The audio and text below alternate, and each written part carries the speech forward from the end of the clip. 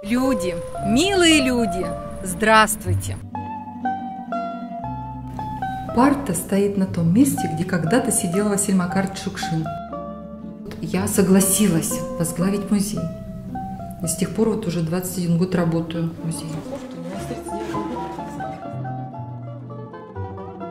Это музей на родине Шукшина. В 2002 году мы приобрели дом, в котором Василий Макарович жил в детстве. Мы живем от июля до июля.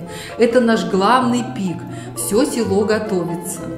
Все приезжают на Шукшинский праздник. Это вот легенда. Народ творит Шукшина.